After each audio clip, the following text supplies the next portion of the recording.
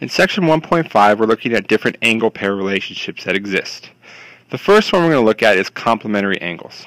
So if I look at the uh, examples I have below, I have angles 1 and 2 together form a pair of angles, and then the 25 and 65. If we look at those two those two sets of angles, they have something in common. Both of those sets add to 90 degrees. So complementary angles are two angles whose sum is 90 degrees. We better clarify that though, whose angle measure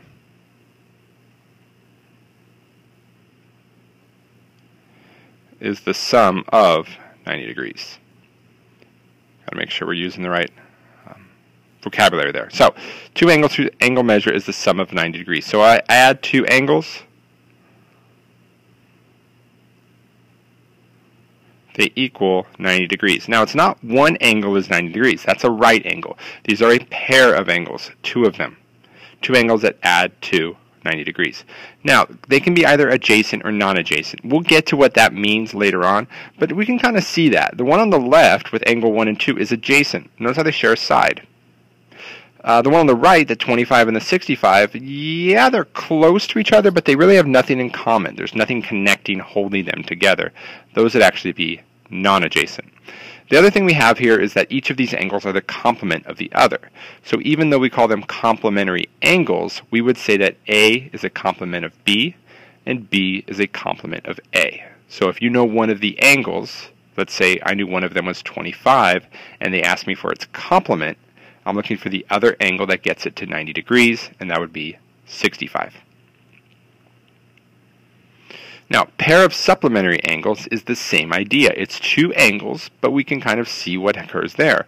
They don't add up to 90 degrees, but that first pair add up to a straight line, and the second pair adds up to 180. So this is two angles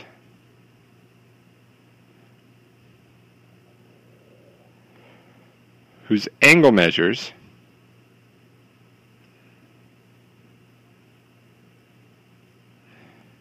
have a sum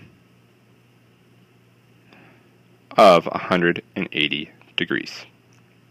So if I have a measure of angle A plus the measure of angle B, I would say they're 180 degrees. They add up to be a straight line. A straight angle is a common way you're going to see that. So we've just said they can be adjacent or non-adjacent for complementary. Same thing works for supplementary. I have the top example is 1 and 2 share that side. They're together, they're attached.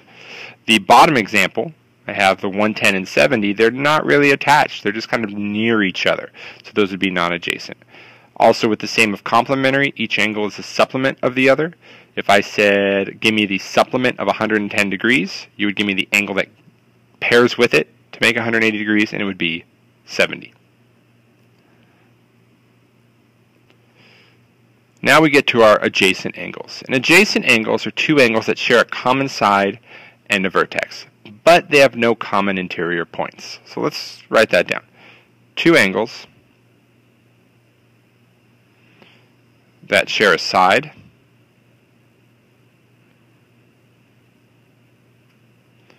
and a vertex. But when we say they have no common interior points, we're saying is there's no overlap. So for example, if I drew an angle and then I put another one on top of it, I wouldn't say that this angle and this angle are adjacent because there's an overlap there. We can't have that. So that's what we mean by no overlap. So they share a side and they share a vertex. So let's kind of look through our examples here. I have a vertex in common. I have a side in common. I have the side in common, vertex in common. I have the vertex, I have the side. Now, those are all adjacent angles. A counterexample to that would be kind of like some of the ones we've already seen. Here's an angle. Here's another one. They don't share a side. They don't share a vertex. Maybe if I had something like these two angles. Those two angles, they share a vertex, but they don't share a side. Uh, let's do another example. What if I did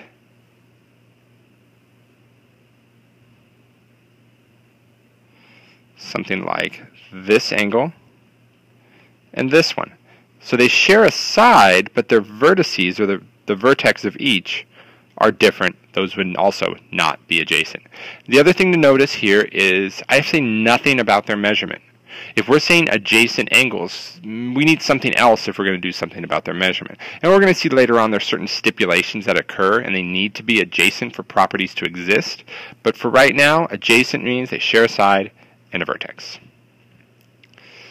So why do we need this adjacent? Well, a linear pair of angles is an important one to look at. So a linear pair, if we look, have a few things in common. First of all, I have 1 and 2 of my angles there. I already said they were supplementary if they formed a straight line. And that works in both of these. Now we also have that they're adjacent. Notice they share their side, they share their vertex. So this is actually a pair of angles that are supplementary and adjacent. So it's not an either or. It has to be two angles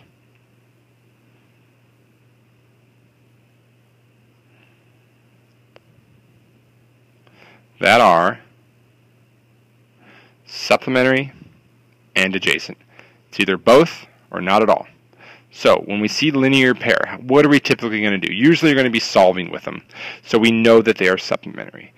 But when we have properties that have to do with a linear pair later on, we also have to make sure they are adjacent. So for right now, they're supplementary and adjacent. What you're going to use to solve, though, if I gave you angle 1 and wanted you to find angle 2, is the fact that they are supplementary and they add up to 180. Now, an example of angles that would not be a linear pair. if I had these two angles and I had 100 and one was 80, these would not be a linear pair because they are supplementary, but they are not adjacent. If I had these two angles, these two angles are adjacent, but they're not supplementary. The next term we have is vertical angles. And our definition says they're vertical angles if their sides form two pairs of opposite rays.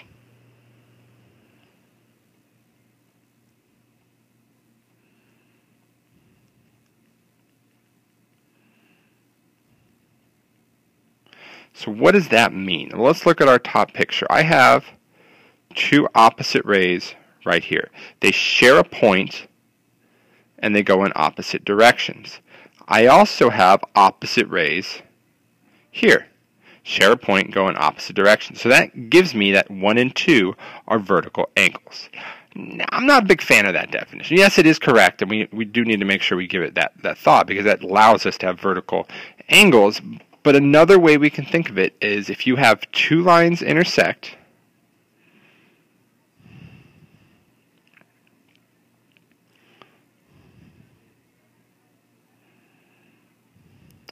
then vertical angles are on the opposite side of the vertex.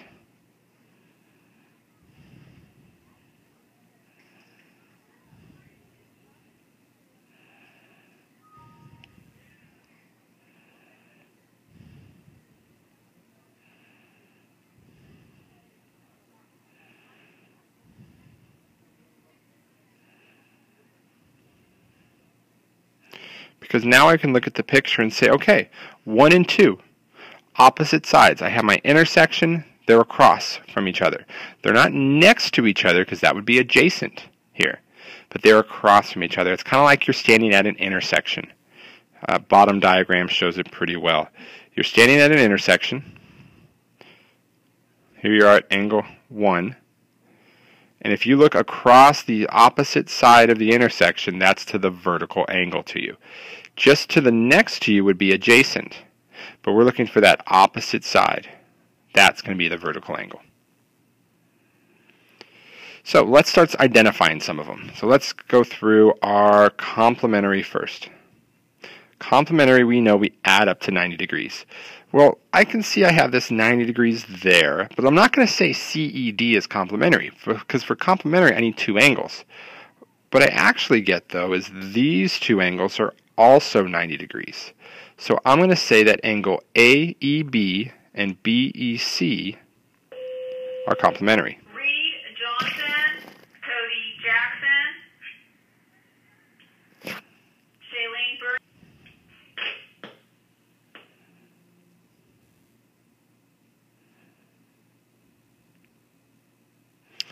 Now I look, I don't really have any more complementary. So let's do our supplementary.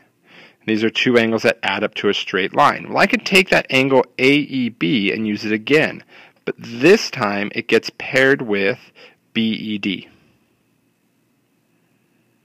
That gives us a straight line. And these are these two angles. Okay, now we do have another supplementary pair, and that's going to be angle AEC and angle CED. So that is this angle and this angle. Okay? Now when we look at adjacent angles, actually all three of these are adjacent pairs. So we're going to put a little star next to it because they are all adjacent. So those three are all adjacent. They share a side. A way we can cheat and kind of notice that, notice how this one has EB and EB. EB, EB. ECCE. When they share a side, they'll have those two letters in common. So all of those are adjacent. Uh, we even have another one. We could say angle BEC and angle CED. Now that one's not complementary. It's not supplementary, but they do share a side, and that would be EC that we use. Okay, last one now is we're going to have to solve with them. So we know complementary and supplementary. So I look at the diagram and I see that the two angles, AEB and BED, are supplementary. Because they form a straight line, I know they add up to 180. So I know angle AEB plus angle BED is equal to 180 degrees. So we have 4x plus 13 plus 18x minus 9 equals 180. This gives me 22x plus 4 equals 180. Or 22x equals 176. If I divide both sides by 22, I get 8. So now I can plug back in. We'll go here and say 4 times 8 plus 13. 4 times 8 is 32, plus 8 is 45 degrees. And then 18 times 8 minus 9 actually comes out to be 135. So I have 45, 135. Those add up to 180, which is what we wanted. So we know that the measure of angle AEB